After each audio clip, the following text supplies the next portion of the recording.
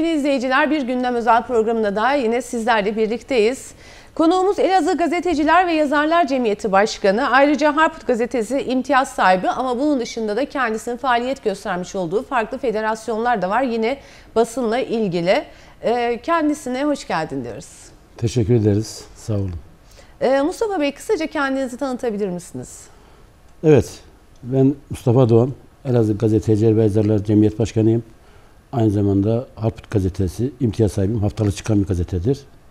Evet. Ee, bunun yanı sıra e, 1998 yılında hı hı. ben bu camianın içine girdim. E, genel ağırlıklı e, spor e, kökenliyiz. Evet. E, hep spor köşesi yazarak bir yere kadar geldik. Ondan sonra işte 2011 e, yılında Elazığ'da tek cemiyet vardı. Evet. Daha, daha önce iki cemiyet vardı. Bir Elazığ Gazeteciler Cemiyeti, bir de Hı. Türk e, Elazığ Fırat Havzası Gazeteciler Cemiyeti vardı. Daha sonra ara gelindi, birleştirildi. Tek cemiyet oldu. Tek cemiyet olunca e, bu cemiyeti e, dönemin başkanları biraz kendi şahslarına kullanınca e, mecburen ikinci bir cemiyetin tekrar hayata geçmesi için e, oluşum yapıldı ve o günden beri 2012'den beri ben Elazığ Gazeteci ve Yazarlar Cemiyeti'nin başkanıyım. Bunun yanı sıra e, biz e, birçok alanda Elazığ'ı temsilen e, etkinliklerde bulunuyoruz. Ki bunlarda sadece ben kendim için değil, Elazığ için ben varım. Benim için bir yerde olmak çok önemli değil. Elazığ'ı nasıl tanıtabiliriz? Elazığ'ı nasıl bir yerlere taşıyabiliriz dışarıda? Bizim amacımız odur. Çünkü biz e, farklı bir iliz. Biz son iki yılımız çok acı geçti. İşte bir deprem geçti, bir afetler Pandemi geçti. Süreci. Yani bunların şeyler oldu. Bunun yanı sıra e, ben Türk Dünyası Gazeteciler Federasyonu'nun yönetim kurulundayım. Ki bu 5-6 kişiden oluşan bir yönetim kuruludur.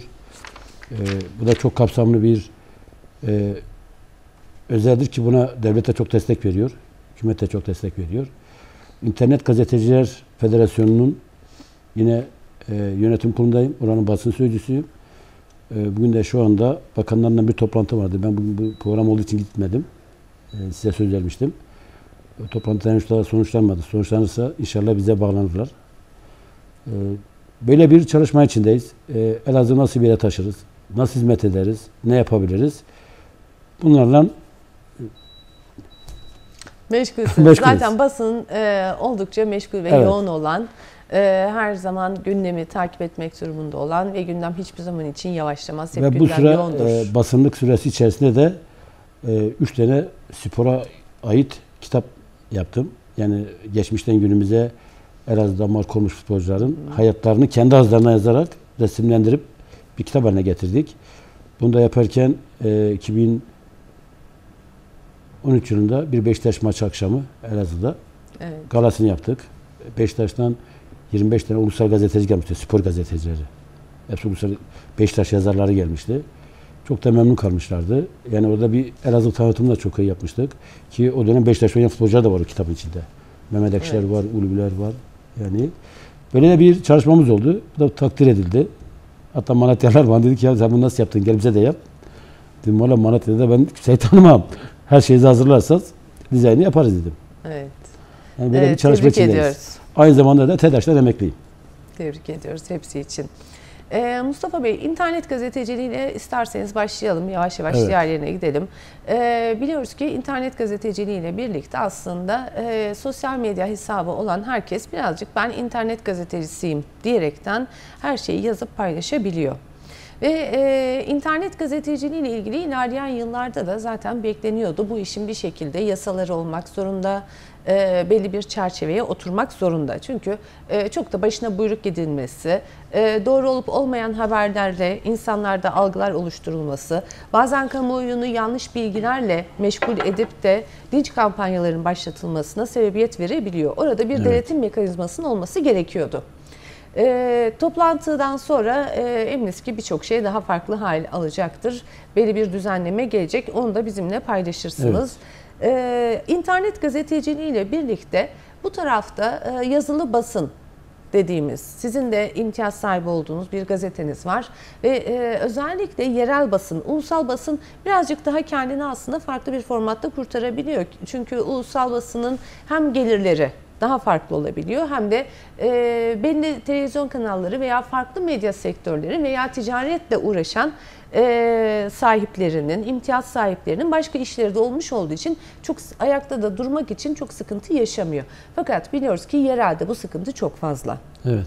Bununla ilgili e, bağlı olmuş olduğunuz e, birden fazla federasyon var, yine cemiyet var ve e, insanlarla da hem Elazığ hem Elazığ dışındaki insanlarla da irtibat halindesiniz.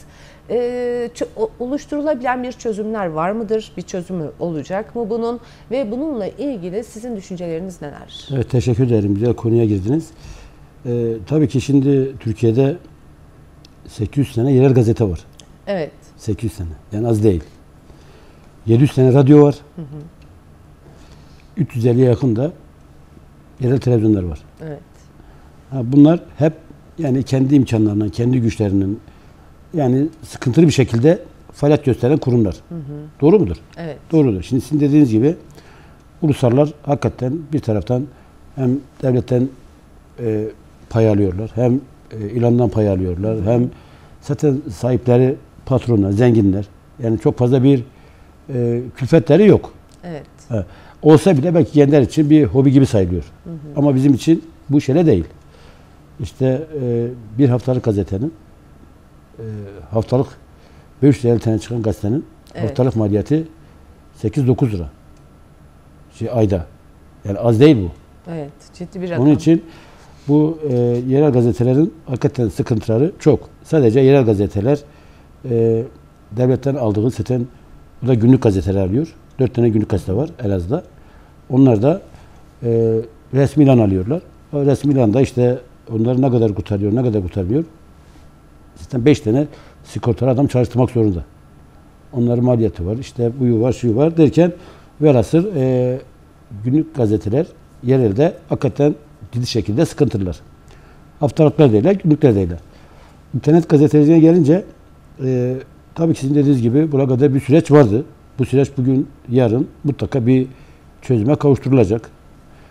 Onun için şu anda bir e, bakanlıkta toplantı var. E, biz de federasyon evet. olarak o toplantıya davet edildik. Hı hı. Şu anda bizim yönetim kurulunun dört tane arkadaşımız şu anda yönet toplantılar. Ben programa girmeden önce aradım. Deniz toplantı devam ediyor. Tabii burada bir çözüm bulacaklar. Çünkü e, internet gazeteciliği biraz daha artık günümüzde bayağı bir yol kat etti yani. Evet. E, bu kesinlikle bir çözüme kavuşturulacak. E, belki de bundan sonra yazılı basın çok az olacak. Yani iş oraya gidiyor. Çünkü internet gazetecinin belki biraz daha yükü hafif olacak. Ha, belki ona bir kriter getirebilirler. İlan verebilirlerse ilan verme durumları var ilan verirlerse, reklam verirlerse e, belki onlar da bir e, fiyat miyat artırımı yapabilirler. Belki bir uygulama getirebilirler. Belki bir kriter getirebilirler. Ondan henüz net konuşamayız. Çünkü şey değil. Ama internet gazeteciliği bugün olmasa yarın, yarın olmasa öbürsü mutlaka hayatımıza girmiş olacak. Evet. Elazığ'da basın. Ee, bunu nasıl değerlendiriyorsunuz? İlimizde basın, medya e, nasıl? Hem yazılı hem görsel. Şimdi e, bu en zor soru budur benim için. Şöyle ki budur. Elazığ'da tarihi çok eski olan Turan Gazetesi, Ulova Gazetesi, Nurak Gazetesi hı. ne yazık ki kapandı. Ki bunların tarihi 85 yıllık, 70 yıllık, 65 yıllık ki Türkiye'de Turan Gazetesi ilk 5 içinde. Evet. Kapandı. Ee, ama şu anda televizyon şey gazete sahipleri kim? Müteahhitler. Yani gazetecilikten uzaktan yakından şey olmayan insanlar. Ama e, bir şekilde kendilerini orada buldular. Şu anda da devam ettiriyorlar. Ha, kötü mü ediyorlar, iyi mi ediyorlar? Onların şeyi. Ama keşke de e, bu işin mutfağından gelinse, keşke de bu işin emeğini verirse, okulunu okusa veya işte e, uzun süre bu işte çalışmış olsa da bu iş yapabilse belki evet. daha farklı bir konum olabilir diye düşünüyorum. Ama e, onlar da bu şekilde olmasına rağmen e, yerel gazeteci sahiplerinin hepsinde Allah çok şükür e, sıkıntıları yok. Yani kendi maddi sıkıntıları yok. Ha, gazete olarak sıkıntılar var mıdır? Onlar da her zaman olabiliyor yani. Bundan sonraki süreç için e, Elazığ'a baktığınızda basını nasıl değerlendiriyorsunuz ve basın Elazığ'ın sorunlarıyla ne kadar e, içli dışlı. E, biliyoruz ki insanlar her zaman için eleştireldir. İyi yapılan şeylerden çok fazla bahsedilmez ama olumsuzluklar çok daha rahat bir şekilde dile getirilir ve konuşmak kolaydır. Evet. E, Elazığ basına baktığınızda işin mutfağından gelenler dediniz. E, işin mutfağından gelenleri e, bu işin içinde uzun yıllardır var olan isimlerin yerini doldurabilecek isimler ve kalemler geliyor mu? Ee, yoksa dediğimiz gibi her şey sadece kimsenin görmediği, bilmediği isimlerle internet üzerinden yapılan basınla mı kal- kalıyor? Elazığ'da durum nasıl? Yani şu anda e, durum odur ama e, ne yazık ki biz çok şanslı insanlarız. Evet. Elazığ çok şanslı. Hem iletişim lisesi var hem iletişim fakültesi var. Bu Evet. Türkiye'nin birçok ilinde yok.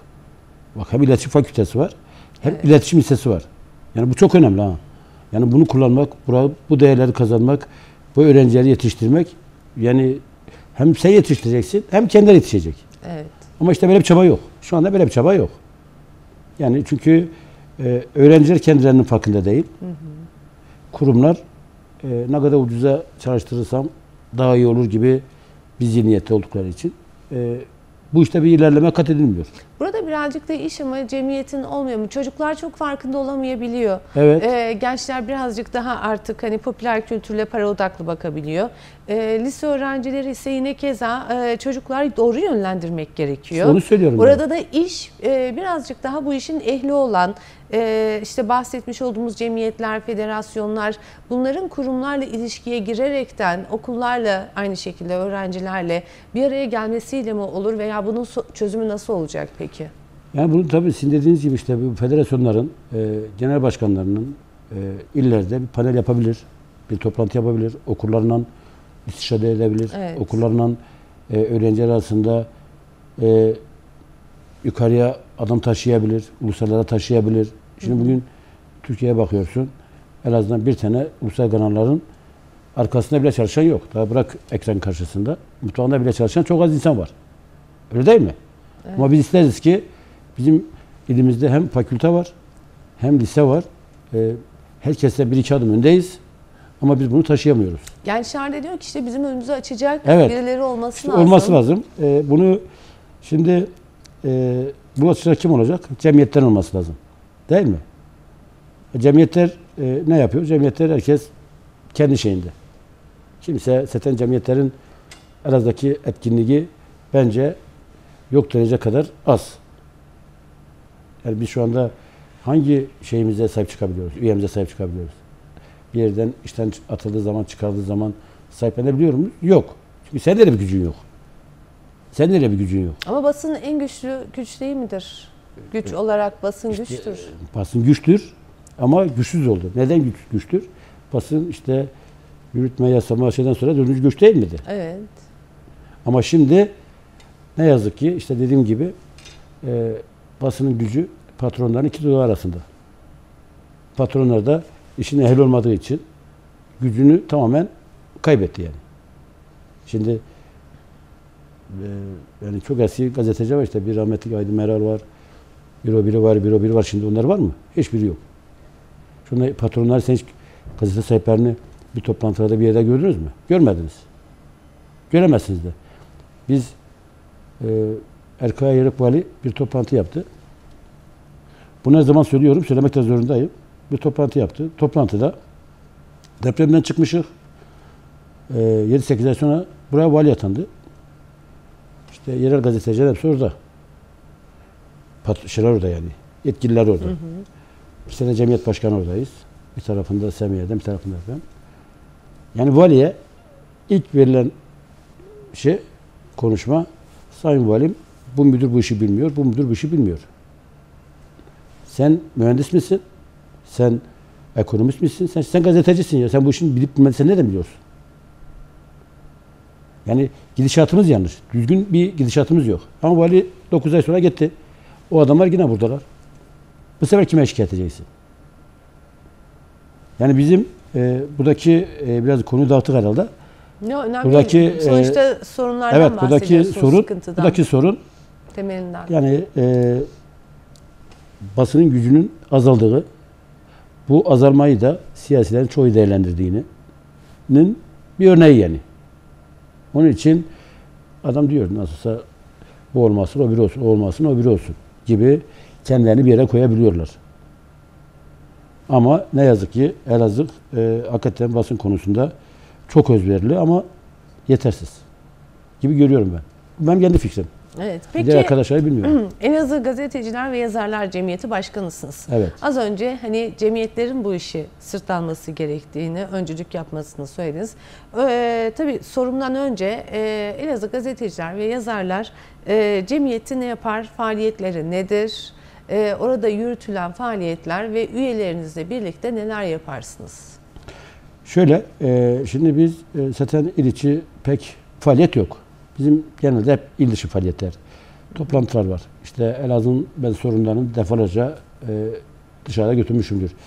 Gittiğim bizim federasyon yetkilileri de e, şu anki bakanlarınla irtibatlı olan insanlar. Evet. Yani ne kadar fayda olabiliriz onun hesabını yapıyoruz. Mesela depremde depremde e, Kanermuç ailesinden bizim Beranur Beranur bir de Tolga Evet. Onların evleri hasar görmüştü. Bir de Ceyhun. Evet yıkıldı hatta evet. evleri. İlk onların evleri hasar görmüştü.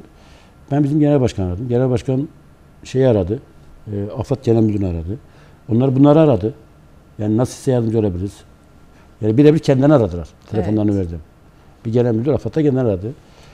Ee, daha sonra işte andeler ya damdan düşenin, derden damdan düşenler. Evet. Kocaeli'de büyük deprem olduğu için Kocaeli Cemiyet Başkanı bana e, 50 tane şey gönderdi. Polar gönderdi. Ben de bana üye olan olmayan, sahada çalışan tüm arkadaşlara dağıttım. Dört tane Kanal Müç'e, dört tane Kanal Fırat'a, her gazeteye ikişer tane, üçer tane sahada çalışanlara. Evet. Vallahi bir tane kendime ayırdım. Hediye bir hatır olsun diye kendime ayırdım. Onda yine bir genç arkadaş dedi ki abi Van alma dedi. Tuttum onu da ona verdim.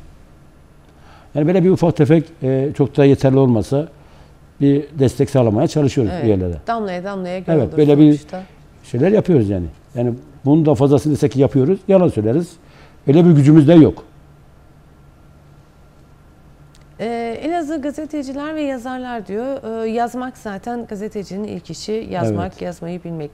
Bunlarla ilgili eğitimler e, Elazığ'da veya e, farklı şekillerde yapılan e, çalışmalarınız var mı peki? Şimdi zaten e, dediğiniz gibi gazeteden yazar evet, içişerdir. Evet. O olmazsa olmaz, o olmazsa evet. olmaz.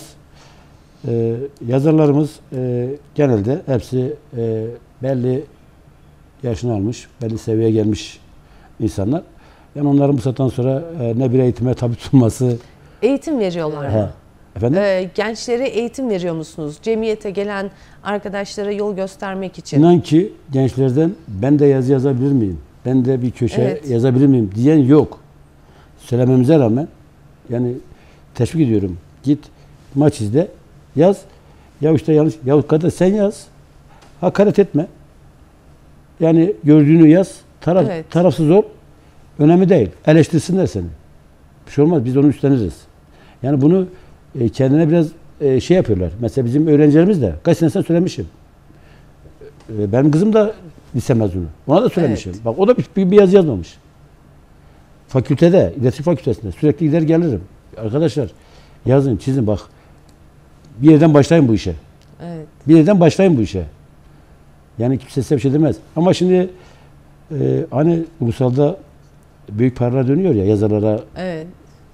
e, yapımcılara, programcılara büyük paralar dönüyor ya. Belki de bunun beklentisi içindeler. Niye bize vermiyorsun? Vallahi kardeş kusura bakma yani gazetenin gelirine eksen ne verirsin? Yani işin bir de bu yönü var. Maddi, Maddi yönü var. Evet. Doğru mudur? Yani bir işin bu yönü var. Onun için yani pek e, bu konuda gençlerimiz hevesli olan da var. Ama ne hikmetse yazmaktan kaçınan insanlar sosyal medyada hakem kesiyorlar. Evet. İşinde bu yönü var. Biraz daha herhalde rahat mı geliyor? Sonuçta, Bilmiyorum. Yani e, biraz sorumluluk daha, duymadan. Hani derler ya ucuz olsun benim olsun gibi misali. Hı hı. Yani biraz kendilerini soyutuyor ama orada da e, farklı şeylerle kendilerini avutuyorlar. Mustafa Bey, e, Küresel Gazeteciler Federasyonu. E, bunun açılımı nedir? Küresel Gazeteciler Federasyonu'na da üyesiniz. Evet, ve oradaki yönetimdeyim. Yönetimdesiniz. Oradaki hem üstlendiğiniz görev nedir hem de oradaki işleyiş nedir? Oran Denetleme Kurulu Başkanıyım. Burası e, Küresel Gazeteciler Konseyi Cumhurbaşkanı, Dışişleri Bakanı ve İçişleri Bakanı'nın oluşumuyla imzalar olan bir oluşum. Evet. Özellikle Cumhurbaşkanı imzasıyla hı hı. yapıldı, okeylendi. Bu bir dernek değil. Bak bu tamamen bir dernek değil. Bu tamamen bir statü, bir çalışma. Bu üç ayaklı. Yerel medya, yaygın medya, dış medya. Şimdi Küresel Gazeteciler Konseyi'nin biz toplantısına gittiğimiz zaman yerel medya temsilcileri de geliyor. Yaygın medya temsilcileri de geliyor. Dış medyanın temsilcileri de geliyor. Mesela biz e, haftaya ayın 8 ile 12 arası Artvin'de Küresel Gazeteciler Konseyi'nin toplantısı var. Bir ayakta dış medya olduğu için Gürcistan'da, Gürcistan ayağında bir toplantı orada yapılacak. Yani yakın olduğu için oradan oraya davet edildik. Ee, böyle bir oluşum. Bu oluşumun asıl amacı e, Türkiye'nin yurt dışındaki lobisi olası olsun. Yani e, hükümetin yapamadığını, açıklayamayacağı konuları evet. basın yoluyla bildirilmesi. Yani bu da en güzel bir hükümete bir destek yolu. Ve biz bunun her il, her ülkede Avrupa ülkelerinin hepsinde hemen hemen temsilciliklerimiz var. Oradaki temsilcilikler, oradaki elçilerin, oradaki basın şeylerinden e, büyük bir e, ilişki içindeler. E, gerekenler de yapılıyor. E, destekler de veriliyor. Buna hükümet de destek veriyor. Mesela TİKO olsun, e, belediyeler birliği olsun, e, büyük bir şey var yani. E, katılım var. Böyle bir oluşum. Bu çok da güzel. Ben bunu Genel Başkanı Elazığ'a çağırmıştım. E, bizim Onursal Başkanımız da Yavuz Donat'tır. Evet. E, usta gazetecidir. O da gelmişti. Kanal 23'te işte ziyarete geldik. Elazığ'ın Kanal Fırat'a şeye, ziyarete gittik. Bütün medyayı gezdirdim ben. Elazığ gezdirdim, tanıttım. Ee, çok da memnun kaldılar. Ee, öyle bir çalışma içindeyiz. Ee, gittiğimiz her yerde de e, ben Elazığ'ın sorunlarını götürüyorum. Ee, vallahi kitaplarını da götürüyorum, dergilerini de götürüyorum. Tanıtımı nasıl yapabiliriz diye ilimizin. Çünkü e, bizim ilimiz biraz doğunun dışında kaldığı için e, bizi doğunun bir işte bir Bingöl, bir Muş, bir Van gibi o tarafa da görüyorlar. Tanımayanlar, bilmeyenler. Bunun biz bir tanıtımı yapıyoruz.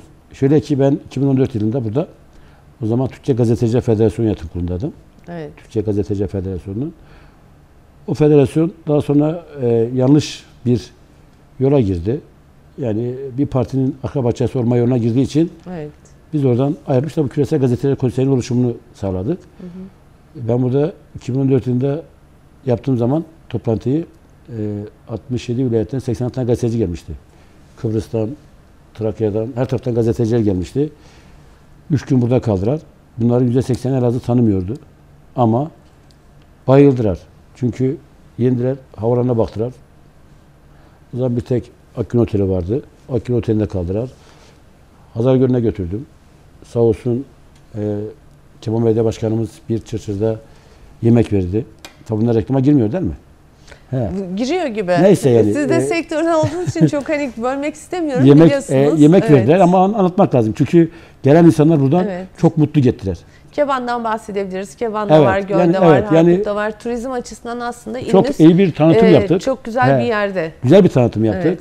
Harput'ta bir tanıtım yaptık. O zamanki e, müdürümüz, turizm müdürümüz güzel bir arkadaş bize tavsiye etmişti. O da güzel bir sunum yapmıştı.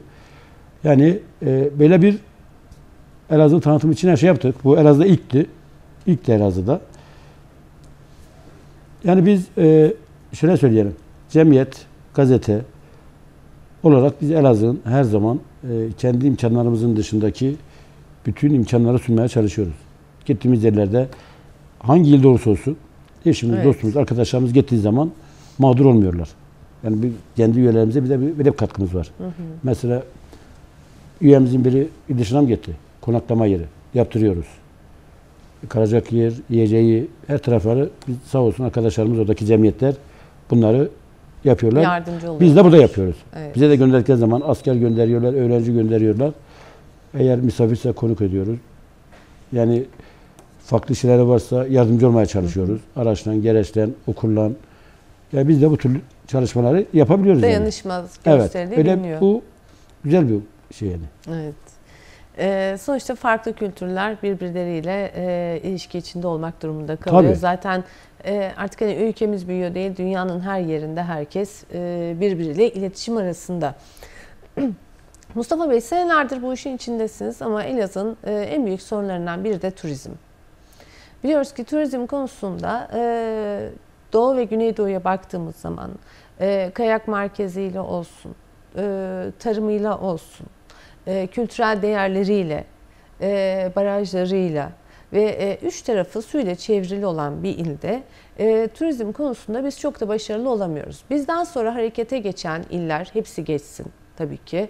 E, tüm iller kazansın, her yer kazansın. Ama Elazığ niyeyse sadece e, işte araçların bir diğer tarafa giderken geçmiş oldukları güzergah olarak kalıyor. E, burada Elazığ basını e, eksik yapmış olduğu veya e, yazılı ve görsel diyeyim medyanın. E, tabii ki iş devletle de, tabii ki iş bürokrasiyle de ama e, her şeyi de birilerinin üzerine yıkmak değil de biraz da kendimiz üzerimize alırsak. Nerede eksikler var ve bundan sonrası için e, sizlerin bu kadar aktif olmuş olduğunuz yerlerde de turizm konusunda Elazığ taşıyabileceğimiz planlarınız veya çalışmalarınız, görüşmeleriniz oldu mu? Evet oldu ve bunun bir tanesini işte biraz önce size anlattım. 2012, evet. 2014 yılında evet. 80 tane gazeteci Elazığ'a getirdim. Evet. Dönemin daha yeni belediye başkanı seçilmiş. 3 ay 4 aylıktı. Mücahit Yanılmaz ve dönemin valisi Ömer Faruk Koçak programı başlatmadan 10 gün önce kendine gittim. Evet. Dedim böyle böyle. Şimdi bir şeyi kim tanıtır? İli kim tanıtır? Gazeteci tanıtır. Evet. Değil mi? Evet. Yani gazeteciden başka şimdi bu medya olmasa, görsel olmasa, yazılı olmasa. Evet. Olur mu? Olmaz. Kimse duymaz. Ben bu kadar gazeteci buraya getirdim. Sana yemin ediyorum ne vali ne belediye başkanı bir gün toplantıya katılmadılar. Bir destek de vermediler. Gelip hoş geldin bile demediler. Ben ondan sonra yine bu ekranlarda çağrı yaptım. Dedim ki valla bu ilin valisi de bu ilin belediye başkanı da buralı değil. Buraya destek vermiyorlar.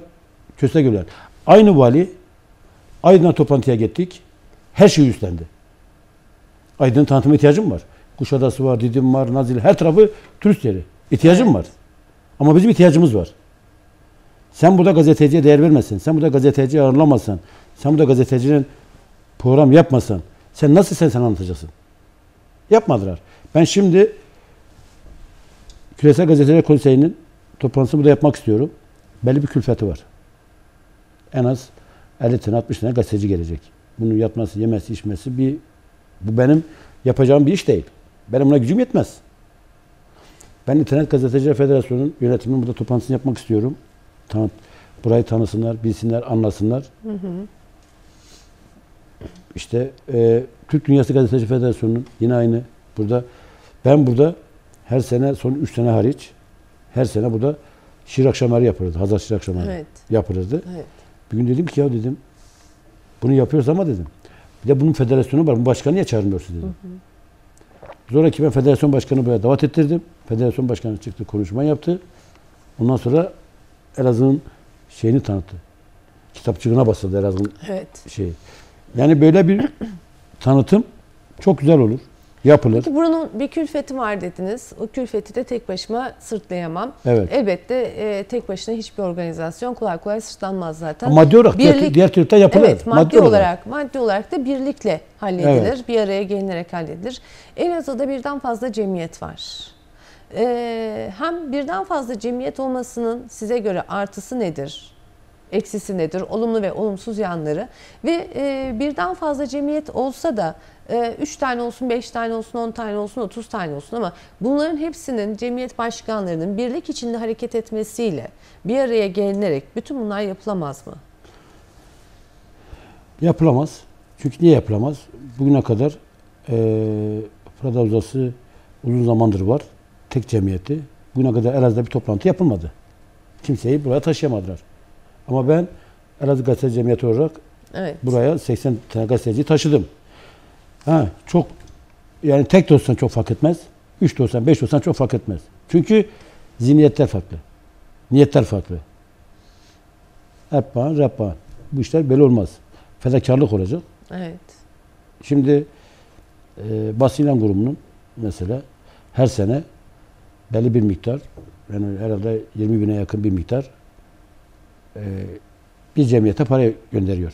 O da cemiyet şöyle kimin fazla sarı basık kartı olan üyesi varsa ona gönderiyor. Gönderiyor. O para kimin parası? Sahada çalışan işçinin parasıdır. Ama birine bir lira vermezler. Kendine kullanılır. Onun için yani ha çok fazla cemiyet olması valla siyasetin işine geliyor. Çünkü fark etmez. Ya Mustafa olmuş, Hasan olmuş, Hüseyin olmuş. Ne fark ederdir? Onlar için ne kadar parçalansan daha faydadır. Ama tek olsan güçlü olursun. Ama tek olmada biraz çok zor. Ben defalarca söyledim.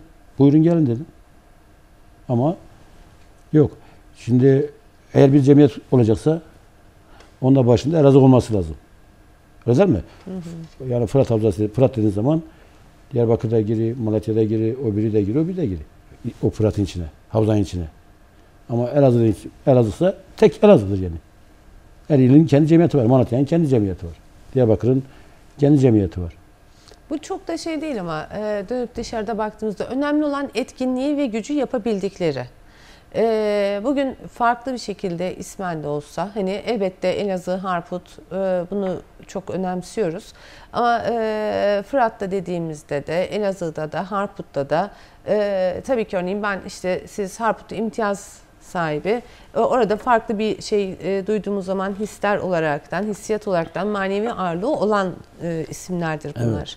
Ama benim demek istediğim şu Mustafa Bey, bu cemiyetler evet farklı farklı olabilir. Fakat birbiriyle ilişki halinde olmuş olsa, güçler birleştirilmiş olsa o zaman e, sahada çalışan arkadaşlarımıza da yine herhangi bir sıkıntı olduğunda da veya şehrin turizm anlamında da dışarıdan getirilecek olan konuklarla renk olarak da farklı insanları buraya taşımakta da etkin olmaz mı? Bunun için e, birlik ve beraberlik şart değil mi? Bireysele döndüğü zaman yarım kalıyor sanırım.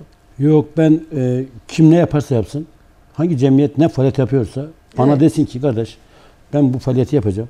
Bize bu konuda destek ver. Vallahi hazırım veririm. Kim ne yaparsa, kim bir çivi çakarsa bu şehre ben onun için her zaman askerim. Her zaman onun yanındayım. Bak ben e, daha farklı bir konuya gireceğim. İşte bu belediye başkanının valinin hiç işin evet. içine girmeni söyledim ya. Evet, evet. Neden girmedi biliyor musun? Bizim o zamanki genel başkanımız yani Türkçe Gazeteci Federasyonu'nun genel başkanı şu anki CHP'nin İzmir milletvekili Atilla Sertel. Bizim genel başkandı. Daha sonra milletvekili oldu.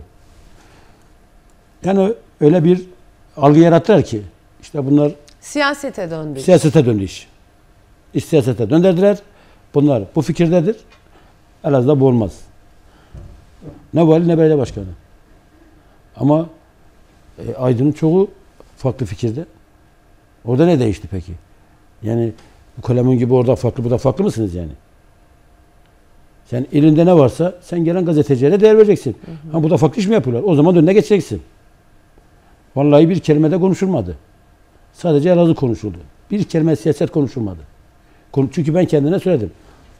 Bizim ilimizde gelen misafirlerimiz elimizi tanıtacak, elimizi görecek, elimizi gezecek, ilimizin kültürüne bakacak. Evet. Siyasetine bakmayacak. Yani siyaset sen, sen gazetecisin, kendi işi. Onu gittiğin zaman ne şekilde yazıyorsan yaz, o senin sorunun. Hı. Yani bak mesela biz her yerde gittiğimiz yerde e, vallahi AK Parti'nin belediye başkanlarının olduğu ilde bile organizasyon olduğu ilde bile zaman zaman kokteyllerde ilişkiler açıldı. Bizim burada da yapılmadı. Biz dedik ki bizim örfümüze, adetimize dedik uygun değil dedik. Allah razı olsunlar. Uydular bize yani. Ama e bizim burada öyle bir algı var ki biri bir şey yaptığı zaman aman bu yapmasın.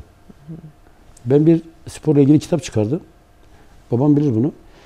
Kitap çıkardım. O kitap hakikaten çok değerliydi. Çünkü hepsinin kendi ağızlarından hayatlarını aldım. Evet. Aldığım adamların mesela ta 1926 doğumlu adamların hayatları var. Böyle bir yani 98 adamın hayatı var. Kendi ağzından yazmış. Birkaç tanesi dedi ki ya ne yapmış dedi. Kopyalamış yapıştırmış. Ya sen de bunun onda birini yap kardeş. Ben kopyaladım yapıştırdım. Sen de aslını yap. Yapabiliyorsan. Yani bizim burada böyle bir operasyon var. Kimi ben nasıl aşağı alabilirim? Kimin nasıl önünü kesebilirim? Yani böyle bir e, hainlik mi diyelim artık adını ne koyalım bilmiyorum ama bir çekememezlik bu şehirde ön plandayım. Bunun da değişmesi gerektiğini depremde de gördük. Depremdeki Şart. sonraki süreçte de gördük. Birlik ve beraberlikle, güçle birlikte sorunların çok daha rahat çözülebileceğini ama e, bireysel hareket edildiği zaman her şeyin çok daha yavaş ilerlediğini ve istenilen sonuçların da alınmadığını e, yaşadık. İnşallah bundan sonrası için diyelim e, birlik İnşallah. ve beraberlik olur. Siz de buradan kim hangi işi yapıyorsa, bu şehire faydası olacaksa oradayım dediniz zaten. Evet, her zaman söylüyorum. Onda hiçbir kuşku yok yani. Evet. Mustafa Bey, e, internet gazeteciliğini dedik. E, kısaca bahsettiniz. Yine e, yerel gazetelerden bahsettik. E, Elazığ Gazeteciler ve Yazarlar Cemiyeti'ni üzerinden e, geçtiniz ve anlattınız. E, Harput Gazetesi imtiyaz sahibisiniz. Evet. E, Harput Gazetesi'nin içerik olarak nasıldır? E, haftalık çıkan Haftalık. bir gazete dediniz. E, ve Elazığ'da aynı şekilde e, çıkan yazılı basınla ilgili düşünceleriniz, yorumlarınız nedir? Yani şöyle ben e, bu 4 sene bitti Hapis gazetesinin. Evet. Ki depremde çıkardık. Yani Covid'de çıkardık. Hiçbir gün aksatmadık. Evet. Her hafta düzgün şekilde çıkardık. Daha önce ben e, Bayram gazetesi çıkardım. Bayram gazetesi de e, özel günlerde Kurban Bayramı, Ramazan Bayramı, yılbaşı, işte 30 Ağustos, 29 Ekim, 23 Nisan gibi günlerde yani senede 7-8 senedir evet. bayram gazetesi çıkarıyordum ki o da çok güzeldi. Evet. Daha sonra e, illa dediler ki ya bir gazete mutlaka çıkması lazım. Yani bir cemiyetinde bir gazetesi olsun dediler. Ben de e, düşündüm. E, günlük biraz ağır olunca haftalık gazeteye öncelikle şey ettik. İsmini de Harput koyduk. Harput gazetesi. Baktık ki Elazığ'ın böyle bir gazetede isme ihtiyacı var. Şu anda evet. Elazığ'da bugüne kadar kimse düşünmemiş. Böyle bir gazete ismi. Savcılığa başvurdum. Basın savcılığına. Böyle bir isim olmadığını ve hem internet sayfası hem e, gazete olarak çıkarmaya başladık. O günden bu yana da çıkarıyoruz. E, memnunuz. E, siyasi, günlük, haftalık gazete. E, yani kimseye de bir hakaretimiz yok ama şehrin sorunlarını, dile getiriyoruz. Ki diğer arkadaşlar da getiriyor şehrin hı hı. sorunlarını. E, taraflı olan da var, tarafsız olan da var. Bir taraf olan da var. Ondan sonra e, böyle bir e, Elazığ şeyin içinde dört tane günlük gazetemiz var. Turan gazetesi, e, Serkan Gültürk'ün gazetesi, Metap Hanım, ben beş tane de günlük gazete, şey, haftalık gazete var. Evet. Fazla yok. Yani. Beş tane haftalık gazete var. Ee, herkesin e, belli bir amacı var. Kendi amacı doğrultusuna gidiyor. Ee, bazıları mesela sadece bayramdan bayrama gazete çıkaranlar var. Hı hı.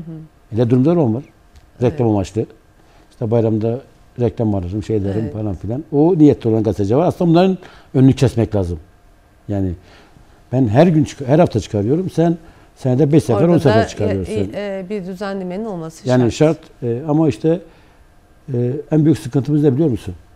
En büyük sıkıntımız e, şimdi avukat oluyorsun. Baroya üye olmadan avukatlık yapamıyorsun. Evet. Değil mi? O bir tarafta mesela bir e, dükkan açacaksın. Esnaf odalarına kayıt olmasan dükkan açamıyorsun. Ruhsat alamıyorsun. Ama bizde ne yazık ki yok.